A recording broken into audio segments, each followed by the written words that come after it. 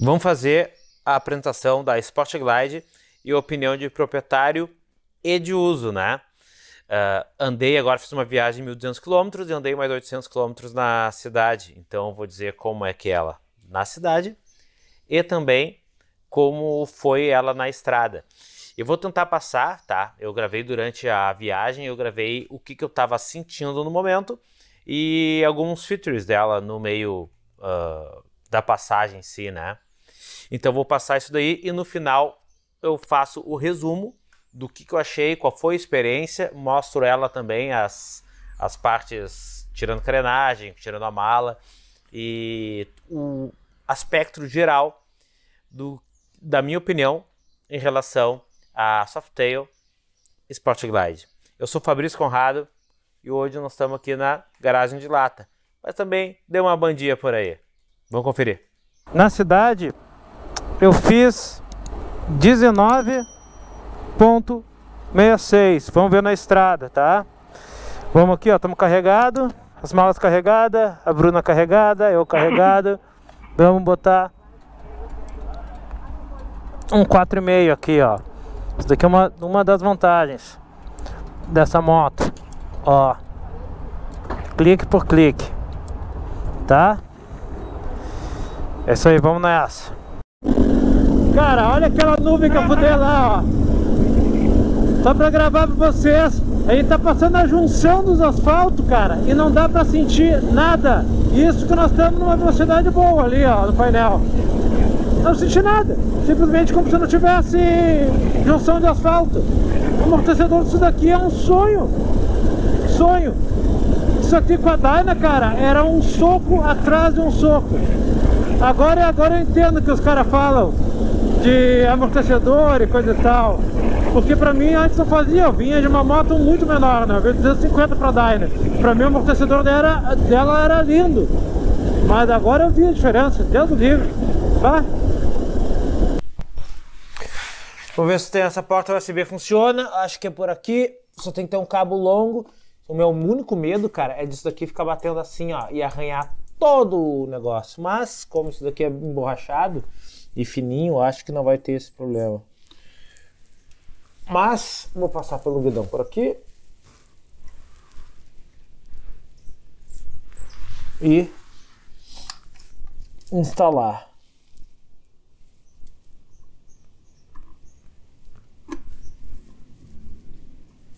Acho que não vai ter galho. Trânsito intenso, estamos atravessando aqui a fronteira, já estamos agora, agora ainda não, vamos ver, aqui é o Mamptuba, agora sim, estamos no estado de Santa Catarina, aqui onde a gasolina é mais barata, tudo é mais barato, Mibilisco. Até pouco tempo para trás ali no, tava com vento muito, muito, muito contra, não sei se vai interferir muito na autonomia. Essa bolhazinha, cara, funciona aqui, ó. Aqui onde eu tô com a minha mão, ó. Aqui não pega vento nenhum. Então ela começa a vir o vento a partir daqui, assim, ó. Bem bom. É, meu amiguinhos, ó. Quanto, quanto que eu rodei? 242. Acendeu com 70 e 8 quilômetros restante. 17,5 de gasolina por litro num vento desgraçado, num trânsito intenso de freio para.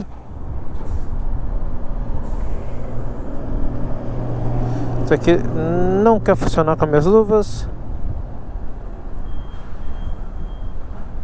Deu, funcionou. Vamos ligar e vamos embora.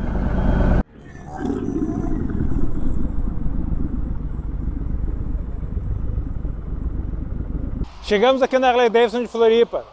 Vamos tomar um café e vamos ver como é que tá a moto, como ela se comportou.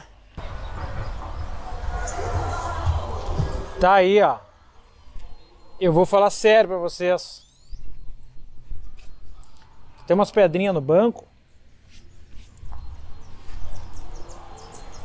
Cara, esse banco aí não vai dar, tá? Isso daqui é um sonho. Tava carregando, não marcou nada. Com o GPS bombante ali, ó. Mas olha essa pintura nova aqui dela, cara. Pintura custom. Aqui tem outros modelos e outras cores dela. Vou mostrar para vocês a, principal diferença na parte da suspensão da Lowrider para ela, essa aqui, ó, que não tem o um ajuste. A suspensão é a mesma, né? Só que o ajuste tem que ser interno em vez de externo. E vocês viram que faz uma diferença, cara, bastante diferença. Mas essa é linda.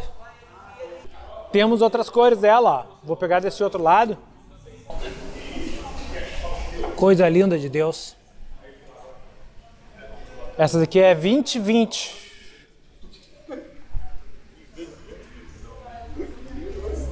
Não muda nada entre as duas, na real. A promessa da 2020 diziam que a 20 não ia vir com cruiser control, mas vem com cruiser control de fábrica também. Que nem a minha. A minha é 19, né?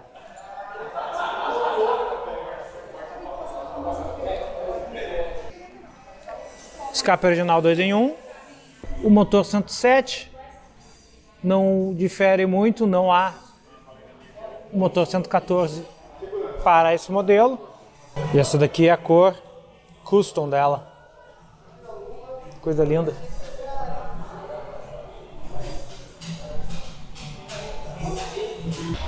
Deu, tomamos café e vamos tocar ficha, vamos para Balneário Camboriú, talvez subir um pouco mais. Vamos lá, vamos tocar ficha. Isso aí, coisa linda.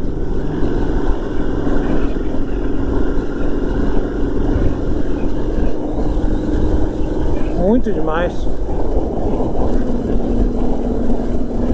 Estamos aqui no shopping beira de estrada de Balneário Camboriú. Dá para almoçar aqui e ver a moto, ó. E dá para ver a chuva também, tá vindo a chuva, velho. Então, o que, que eu tenho para dizer para vocês? A moto está indo muito bem, está me surpreendendo, está se comportando bem. Suspensão é incrível, incrível. Às vezes eu me preparo para receber aquelas trocas de faixa ou buraco, me prepara, sabe? O cara tá andando se prepara para receber o choque. Nem sente, passa feito um tapete. Motor, tu dá e ela vai. Vai, tá derretendo. Ela tá aqui assim, ó, abrindo bem. Isso que tá com motor. Motor zero bala ainda, né? Uh, uns 120 por ali, tu, ela começa a respirar a. Tá surpreendente. Eu não deu para testar o cruise control que tá muito muito trânsito, trânsito muito intenso. Assim que o trânsito aliviar, eu vou pôr para vocês verem, para eu ver também, né, como funciona o cruise control. Vamos almoçar aqui, comer um bifinho e depois tocar pro balneário. Ó, bati 280 e acendeu minha luz do painel aqui, ó.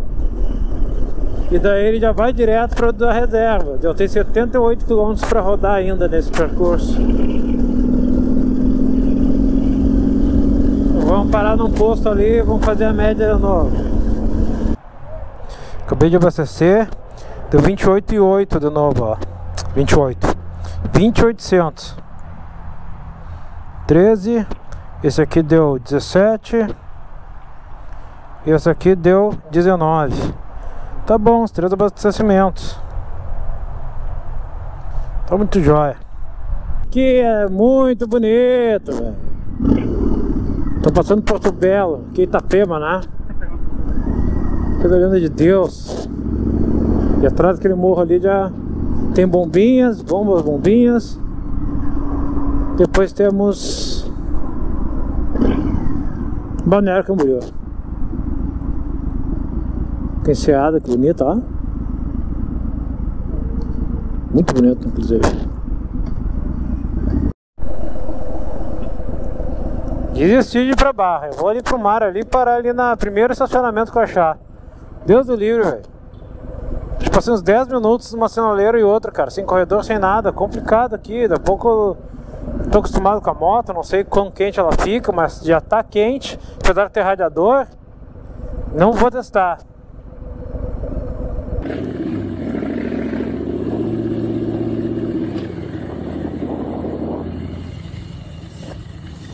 Estamos aí, ó, aqui é o shopping de Balneário Camboriú, estamos indo embora de Balneário Camboriú. Já andamos 600 quilômetros, agora estamos agora a metade, né, da viagem. Então vamos agora voltar e vamos fechar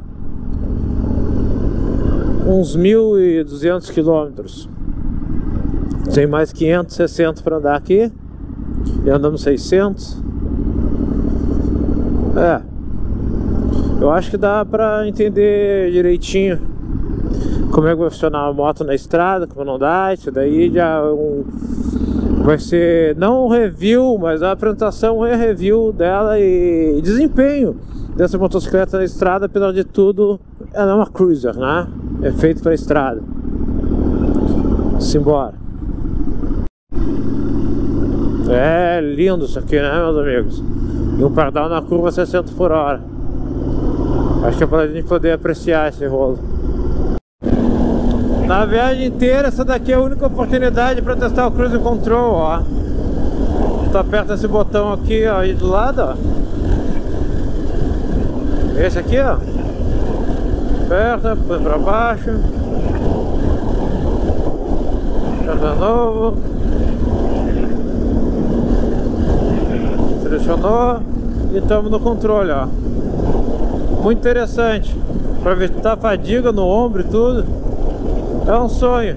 Quer voltar? Não esquece de manter o carro o acelerador enrolado e solta Barbado. 287 quilômetros vou parar para abastecer. Primeira vez que a distância mais longa já feita com ela né Agora a nossa viagem, a primeira viagem com a moto, a distância mais longa que fizemos sem parar. De posto a posto. 287 quilômetros. O banco não é aquilo tudo. Esse banquinho aí, ó, vai ter que dar, dar tchau depois. Porque não é. Não dá, velho tá? Isso que eu tô acostumado a andar. Mas comparado até com o banco da Dyna, isso que a Dyna a suspensão não é essa suspensão nova aqui da Softail. Enquadra, enquadra, como enquadrada, eu nem sei falar, a, a bunda detona, velho, da real. Tá? Parece que tá no concreto. Uh, abasteci, fizemos 21 e 76 km por litro. Depois a gente vai fazer uma revisão, né? Vamos fazer a revisão no final de todos e vamos ver quanto é que dá a média. Isso aí, agora eu vim com vento desgraçado e dois lances de trânsito andando ali a, em segunda, terceira, às vezes primeira no corredor. Legal, vamos embora. Vamos abastecer aqui, a última abastecida dessa viagem. Depois a gente tira uma média, vamos falar sobre as, o que, que eu, as considerações e se é bacana ou não essa motocicleta aqui em viagens longas, né? Apesar de tudo foram dois, não, dois mil não, mil e duzentos quilômetros. Vamos, vamos para a garagem de lá, tá vendo? Então, nós andamos esses 1.200 quilômetros e já peguei o abastecimento, eu fiz, como vocês viram durante a viagem, eu fiz uma média geral, tá? Deu 20 km por litro. O meu máximo que deu foi 21,5 e o meu mínimo foi 17,5 também, quase 18. Isso na estrada, mas estava muito vento e foi um trânsito aquele segue para.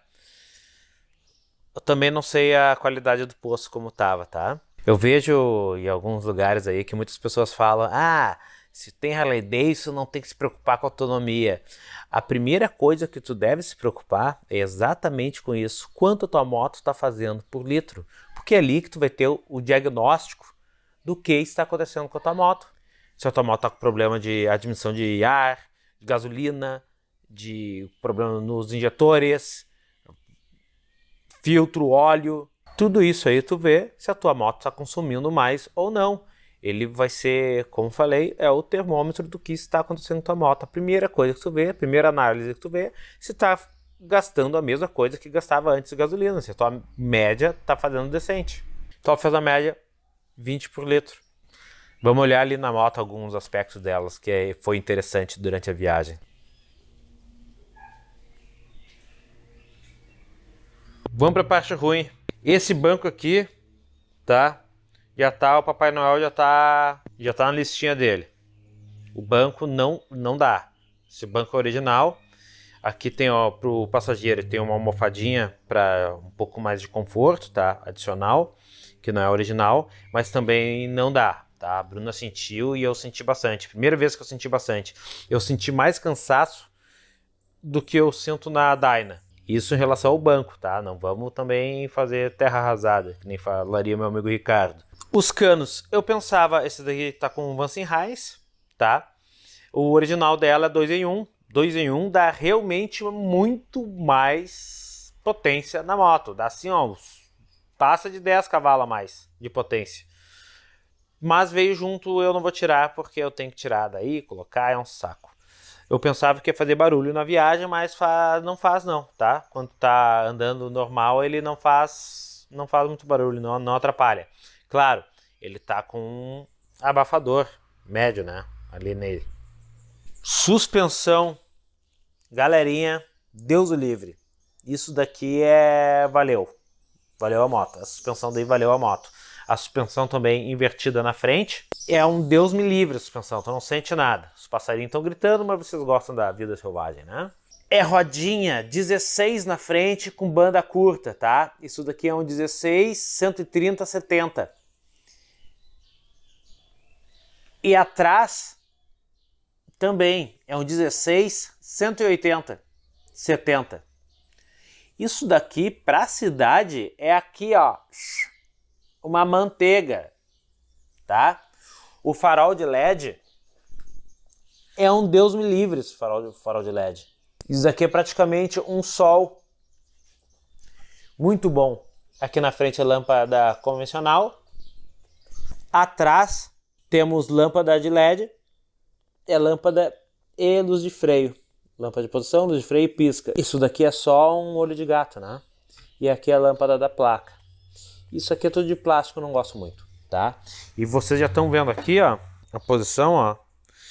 A mala da esquerda é bem maior do que a mala da direita. Como estamos aqui, aqui é muito simples. Aqui é a fechadura clássica, ó. Ela abre. Eu estou com minhas capas de chuva ali dentro, ó. O espaço para acomodar coisa eu achei bastante curto, tá? Ó, tem máscara, minha caixa de ferramenta. Eu achei bem pequenininho o espaço em relação ao tamanho dela geral. Mas é, tá ali já, né? Tá pronto. O punho eu coloquei um grip de tênis para ficar melhor até ele realmente ficar melhor, não fica grudando na luva, que o original não dá. Isso daqui na estrada, cara, vou falar bem sério das 11h30 até a 1h30, tu não enxerga nada aqui. Nada. É um sol dando direto.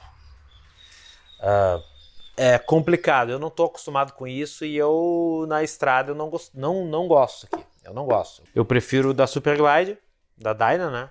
Que é o painel aqui na frente. Isso aqui é questão de costume, né? Como vocês viram, não sei para mostrar, uh, se deu para apresentar muito lá no, no durante a viagem mas aqui, ó, nós temos uma porta USB que ajudou muito, facilitou muito. A moto conta com duas velas por cilindro, motor de 1748. Então vamos falar 1750 cilindradas. Um sonho. Vou repetir, a suspensão é surpreendente, a suspensão da frente é invertida. Comando avançado original de fábrica.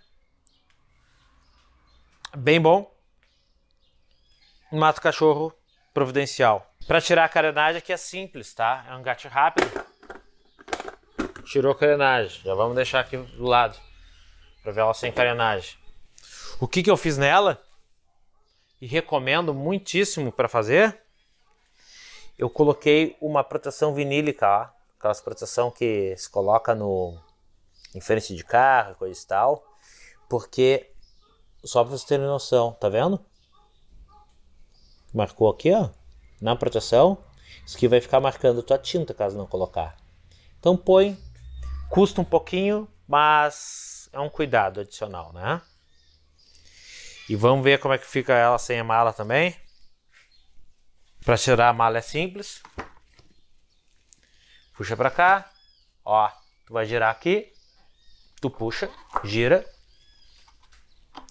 Tá, pode tirar assim, mas eu gosto de fechar. Tá vendo que apareceu a língua vermelha, ó? Tem que cuidar na hora de tirar, ó. Pega um pouquinho, só dá um solavanquinho, ó, e ela vai sair. Esse daqui é um gato rápido das malas e esse daqui é um acessório para colocar esse bar, né? Horrível. E aqui é ela. Sem carenagem, sem mala. Parece uma querida Dyna, né? Essa daqui é o que dizem que é a sucessora da Switchback. A Road Queen. Esse rider ajudou bastante para a posição da pilotagem, mas eu acho que se fosse um pouquinho a mais assim ia ser o ideal para mim, tá? Temos radiador, mas mesmo com radiador, eu vou contar para vocês. Eu peguei um trânsitozinho ali em Balneário Camboriú, indo para a praia. Eu não sei porque eu tô acostumado com a outra, mas eu fiquei com quase medo de de ela apagar, cara, porque é muito, muito, muito quente. É tão quente ou mais quanto o motor TC, né, o Twin Cam. Eu acho que caso não tivesse radiador, essa moto aí não nem ligaria. A troca de marcha dela tá um pouco mais suave do que a Twin Cam 96, mas é pouca diferença, pelo menos na minha percepção. Eu percebi que ela atinge o ápice para troca de marcha um pouco antes da TC 96, tá? Mas eu acho é porque o motor tá zero ainda, né? Ele tá agora, eu acho que tá eu acho não, tá com 4 mil quilômetros em ponto. Então, eu acho que depois de amaciado, eu acho que vai dar para aumentar um pouco mais o giro para troca. Essa daí foi a minha opinião e minhas impressões que eu achei nela tanto na cidade quanto ela numa viagem longa, tá? Caso quiserem saber mais algumas coisas que eu não passei nesse vídeo aqui, podem deixar aí nos comentários, perguntas que eu tenho o prazer de responder. Essa aqui foi a Sport Glide, tá? Forte abraço para vocês, até o próximo vídeo. Mua!